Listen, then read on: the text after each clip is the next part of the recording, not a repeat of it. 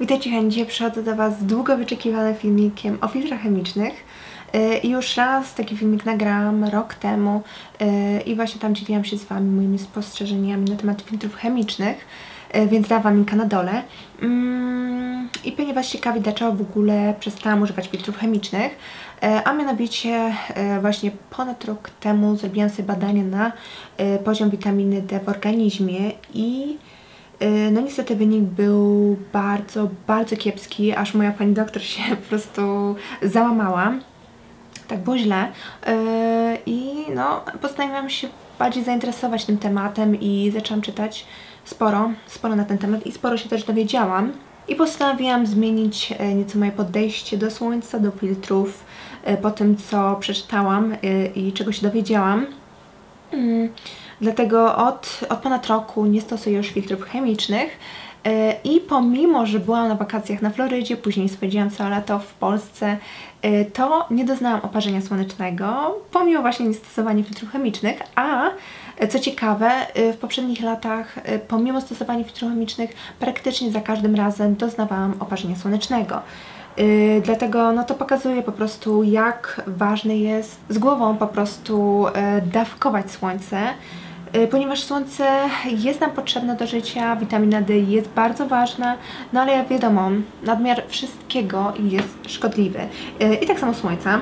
Yy, dlatego ja w tym roku, przez ten cały rok stosowałam filtry naturalne, e, głównie właśnie w postaci olejków i na moim blogu dzielę się z Wami e, listą olejków, które zawierają naturalny filtr i osoby, które potrzebują wyższej ochrony przeciwsłonecznej też z takich olejków mogą korzystać.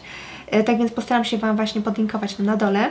Mm, ja, jeśli chodzi o twarz, ponieważ no wiadomo, tutaj jak gdyby każdy chce bardziej chronić twarz, to ja stosowałam na twarz filtry y, mineralne właśnie w podkładach mineralnych i praktycznie wszystkie podkłady mineralne, które stosowałam, mm, zawierają właśnie filtr SPF 15 mm, i mam też taki puder wykańczający z Bare Minerals Mineral Veil, który zawiera SPF 25 25, więc jeśli potrzebujecie takiej wyższej ochrony, to wystarczy po prostu na podkład mineralny nałożyć puder właśnie wykańczający Y, na przykład ten właśnie z Bare Minerals. Tak więc no jak gdyby um, to mi dawało ochronę y, przeciwsłoneczną na twarz, taką y, jeszcze większą niż właśnie y, y, oleje naturalne. Mm. I y, ja w tym roku nie doznałam żadnego oparzenia słonecznego ani na skórze ciała, ani na skórze twarzy. Naprawdę jestem bardzo, ale to bardzo zadowolona. Mm, I ważne jest też jak gdyby dawkowanie słońca w odpowiedni sposób, czyli y, zaleca się y, jak gdyby być na słońcu przez, codziennie przez co najmniej 20-30 y, minut bez filtrów żadnych takich chemicznych, które jak gdyby blokują syntezę właśnie witaminy D w organizmie, ponieważ właśnie ważna rzecz, filtry chemiczne zazwyczaj chronią nas przed promieniowaniem UVB, a bardzo rzadko przed UVA, które właśnie jest tym bardziej szkodliwym promieniowaniem, a UVB jest odpowiedzialne właśnie za prawidłową syntezę witaminy D w organizmie.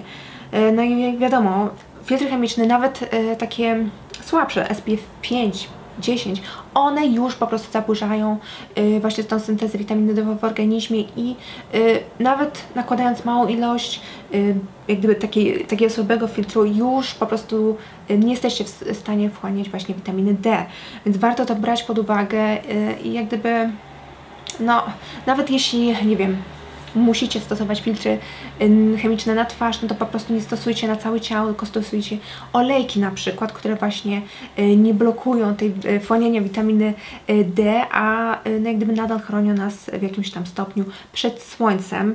Tak więc to to i były badania robione właśnie na temat tych właśnie filtrów chemicznych naturalnych, przepraszam, naturalnych, niechemicznych, yy, filtrów naturalnych zawartych właśnie w olejkach yy, i no po prostu były testy, więc to, tam wszystko na moim blogu jest, ja Wam dam linka i sobie możecie przeczytać w jakiej ilości były stosowane olejki, tak żeby właśnie dawały taką ochronę, więc bardzo ciekawe informacje i warto myślę, że się z nimi zapoznać. Yy, no ja ogólnie jestem bardzo zadowolona, że dowiedziałam się tego, co się dowiedziałam i wprowadziłam to w swoje życie.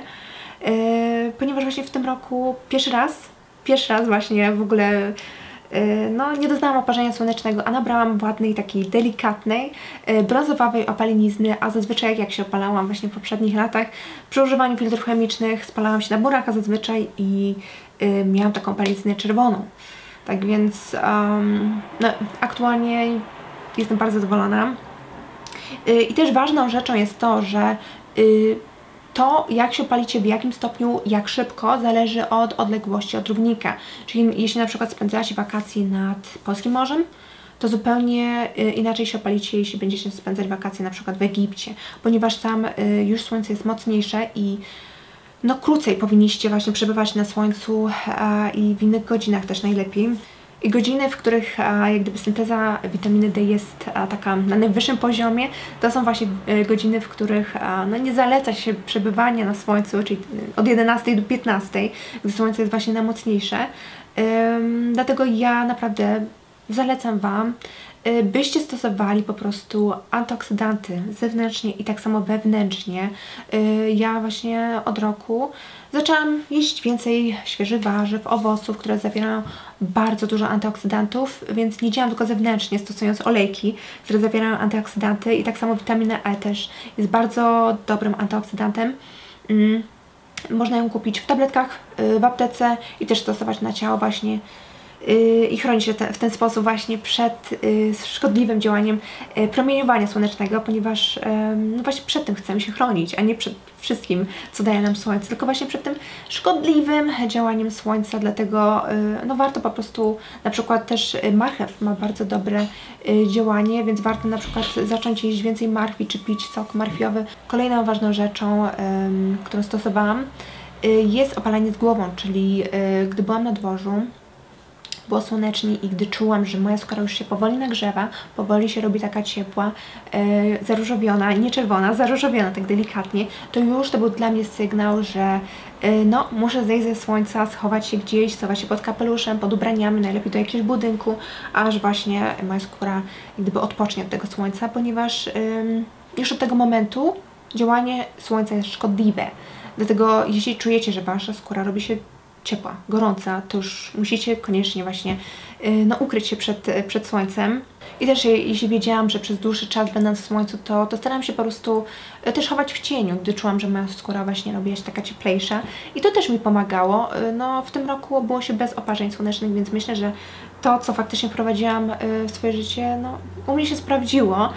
E, dlatego no, zachęcam Was jak gdyby do poszerzenia swojej wiedzy na ten temat i zamiast po prostu smarować się ogromną ilością filtrów chemicznych, to po prostu pomyśleć i no, zacząć dawkować słońce w odpowiedni sposób i, i może będzie to dla Was yy, no, dobre, tak jak było dla mnie. Y, ja właśnie niedługo będę robiła badania witaminy D w organizmie. Jeśli uda mi się y, zdobyć wyniki przed wygraniem tego filmiku, to postaram się Wam dać w opisie. Jeśli nie, no to postaram się napisać notkę na blogu y, i tam podać właśnie te badania i zobaczyć, czy te rady właśnie, które wprowadziłam w swoje życie, no pomogły jak gdyby zwiększyć ilość witaminy D w moim organizmie, tak więc zobaczymy. Będę właśnie porównywać wyniki sprzed roku do tych e, z tego roku, gdy już jak gdyby no, wprowadziłam te naturalne filtry przeciwsłoneczne i zrezygnowałam z filtrów chemicznych. Y, I tak, słuchajcie, myślę, że Wam już wszystko powiedziałam. Jeśli bym o czymś zapomniała, to będzie na dole w opisie albo na moim blogu w nocy. Tak więc bardzo Wam dziękuję za oglądanie i pozdrawiam. Pa, pa! Witajcie kochani, dzisiaj przychodzę do Was z filmikiem z moimi sposobami na naukę. Y, I zacznę od rzeczy takiej e, najważniejszej dla mnie